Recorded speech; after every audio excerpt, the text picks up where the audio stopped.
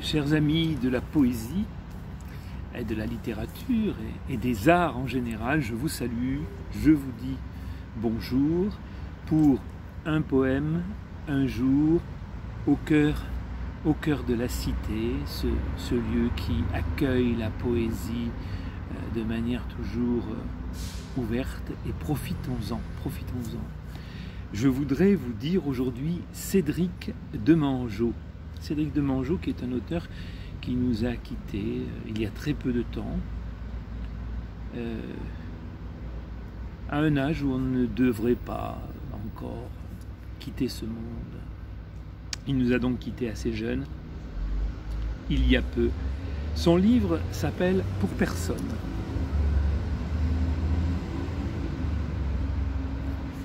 Pour personne est édité à l'atelier contemporain et euh, il est accompagné graphiquement par de magnifiques dessins d'Ena Lindenbauch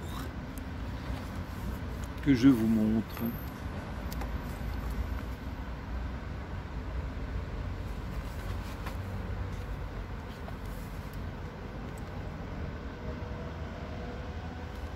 Et vous aurez tout le loisir de les découvrir avec les textes de Cédric de Mangeau dans ce très beau livre à la couverture cartonnée des éditions L'Atelier Contemporain.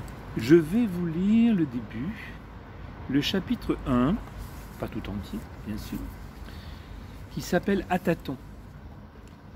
Poésie, prose poétique. Toujours est-il que ce livre est merveilleux et m'a embarqué dans un continent tout à fait nouveau pour moi à tâtons. Alors, s'il faut faire le récit d'un chien, on le fera. Ou celui d'un raté, d'un presque rien ou moins que ça, d'un nain qu'on ampute. On ne reculera devant rien, sinon devant les murs. On ne choisira rien, sinon le bon vieux chaos des possibilités et des impossibilités. Sinon le jeu monstrueux, l'effondrement des cases et les psaumes du perdant. Alors, ce chien, dont le maître pourrait être le nain susdit, dont l'amputation pourrait faire suite à des morsures violentes du chien, qui aurait mordu par faim, ou par ennui, par violence pure. Qui sait? Qui sait ce que c'est un chien? À ce train-là, mon train n'est pas près d'arriver. Il me faudra du feu pour nourrir les machines.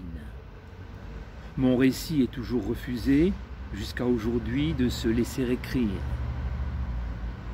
Mais aujourd'hui, justement, j'en décide autrement. Alors, le chien, euh, qu'est-ce qu'il peut bien avoir?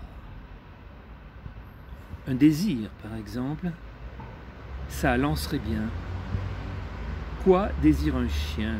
Sinon, une chienne, un os. La jambe du nain lui rappelle une chienne, par exemple. Ou lui rappelle un os. Il la désire, il va, mord, emporte, il déchiquette sa prise. Vue de détail. Fibres filandreuses de viande de jambe, soigneusement déchirées. Le croc précis du chien. Pas mécontent de son cou, le chien. Ça n'était ni chienne ni os, mais c'est juteux, ça cale. Après quoi on ne l'entend plus, partir ou piller son heure, le temps de digérer bien, ce qui n'arrange pas mes affaires. Je viens à peine de commencer, mon nain est moche, sans aucun talent particulier à faire valoir, et déjà tout abîmé. Quant à mon chien, il me tourne le dos. Mauvais signe, tout ça signe de faiblesse des facultés de récitant. Il faudrait un vrai événement qui précipite tout, comme dans les tragédies. Un crime, un complot, une haute trahison. Mais à quoi bon? Je sais que même avec ça, j'arriverai à rien. Un crime, on tourne la page. Et après? C'est peut-être à cause du chien que ça ne démarre pas. Au début, je me suis dit, un chien, c'est bien. Ça sent l'animal, et c'en est un, ça leur fera les pieds, et ça me fera les miens par la même occasion.